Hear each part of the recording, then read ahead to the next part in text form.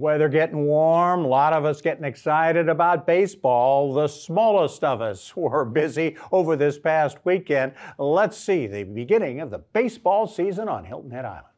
Good evening. I'm Beth Petro. I'm presently the Hilton Head Baseball Association um, administrator as well as a board member. Um, the HHBA has been on Hilton Head for roughly 45 years. This will be our, actually this will be our 46th opening night. Um, several years ago, one of our long-term umpires passed away and we decided last year to name today the Ronnie Moore opening day. So today will be our second annual Ronnie Moore opening day.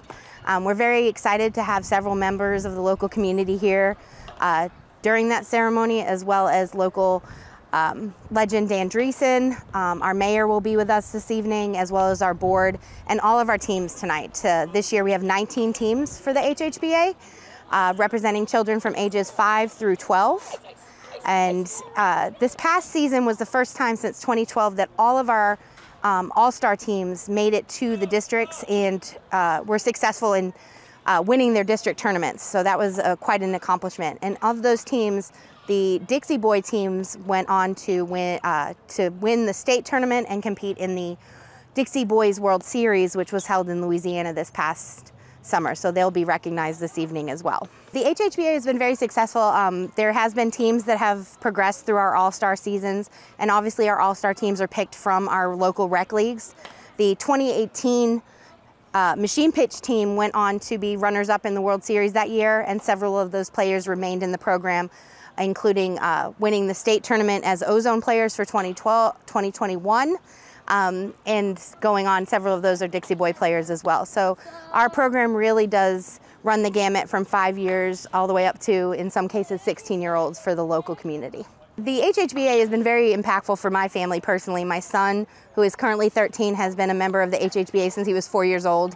He's a member of the 2018 team um, and is now, he has played through the HHBA through his elementary and middle school years.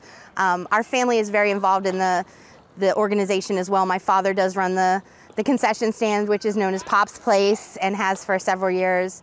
Um, so the, the community and being here on Crossings Park has been a very large part of my family through many, many years, almost 10 years now. So anything that can be done with youth sports is, is definitely important to the community, but especially youth baseball, which has grown exponentially in the last few years, is very important to us as a family. Hi, I'm Kevin Thompson. I've uh, coached here at the Hilton Head Baseball Association, actually coaching two different teams, an 8U team and a 10U team. We're extremely excited about opening day today. Uh, a lot of work has gone into it. These kids are super excited. We've been practicing hard all week and for the last couple weeks actually. Uh, but uh, we got we got a lot of good people out here to help. Uh, uh, Hilton Head Baseball Association board is uh, top notch. We've been doing a lot of great things over the last year to get these fields ready. So kids are super excited about tonight and looking forward to a big season this year. Uh, also own Summit Services Heating and Air Conditioning. We're a big sponsor here. Uh, we're sponsoring the, the, entire 10U league, uh, and we're super excited to keep, uh, you know, helping these kids uh, become good young men and learn a lot about the game of baseball. it's a huge thing for us.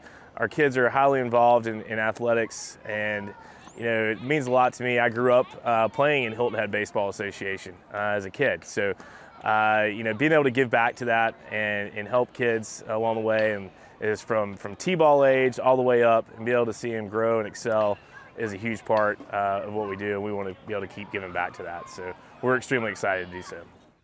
Up next, we're going to talk a little high school baseball. Already they're getting started and a big winner early on in the season. Justin Jarrett will have that story when we come back.